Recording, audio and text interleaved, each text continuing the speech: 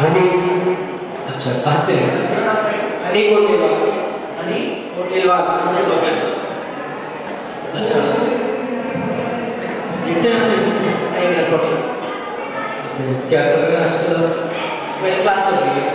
अच्छा ओके क्या सुनते हैं? खामोशियाँ प्लीज़ खामोशी?